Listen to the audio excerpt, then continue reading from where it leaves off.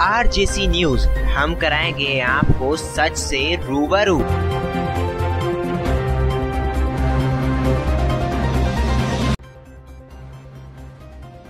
2019 लोकसभा चुनाव का बिगुला बजाते हुए जनसंपर्क और जन समस्याओं का दौर को प्रगतिशील, गतिशील करने का काम बहुजन समाज समाज पार्टी के डुमरियागंज लोकसभा से प्रत्याशी आफ्ताब आलम उर्फ़ गुड्डू भाई ने कपिल वास्तु के अलीगढ़वा में जनसभा को संबोधन में कहा, अगर जनता हमको एक मौका देती है तो हम सिद्धार्थ नगर की तस्वीर बदल देंगे। और उन्होंने बीजेपी पर निशाना साधते हुए कहा, प्रधानमंत्री नरेंद्र मोदी झूठे वादे करके जनता को बेवकूफ़ बनाने का काम कर रहे हैं। जनता अब सब जान गई है, बीजेपी सरकार ने जो वादे जनता से किए थे वह धरातल पर नज़र नहीं आ रहे।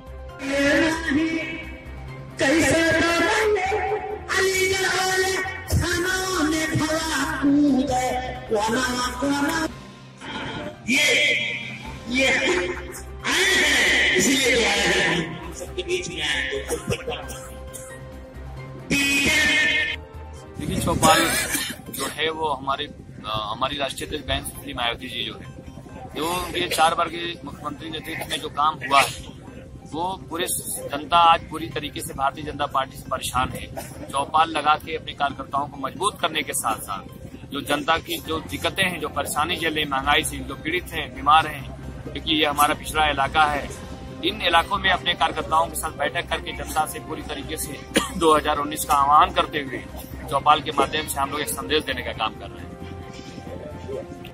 कि डुमरियागंज की जनता अगर हमको सांसद बना के भेजती है लोकसभा में तो निश्चित तौर पे जिस दिन हमको हाथ में प्रमाण पत्र मिलेगा, उस दिन से ही मेरी ज़िम्मेदारी शत प्रतिशत निर्धारित होगी। और मैं एक एक दिन के लिए मैं एक्शन प्लान बनाऊँगा कि किस ब्लॉक में कहाँ पे एग्रीकल्चर लैंड लो है, कहाँ पे किसानों की क्या स्थिति है, हमारे युवाओं की कैपेसिटी क्या है एजुकेशन की जो है, उनकी क्वालिटी क्या है, अपने युवाओं को हेल्दी रूप में रिफ्रेशमेंट में करूँगा, ताकि जो हमारे युवा जिस एजुकेशन लाइन में जाना चाहे टेक्निकल लाइन में चाहे वो कहीं भी जाए, मगर वो रोज़गार की दिशा में जाए अर्जिस्ट ये हमारी पहली जो प्राथमिकता रहेगी। किसानों को आगे तरक्की खुशहाली पे लाने की रहेगी। जो बैकवर्ड समाज के लोग हैं, जो पिछड़े लोग हैं, उनको अलग अलग तरीके से, उनके तरीके से अच्छे काम में करूँगा।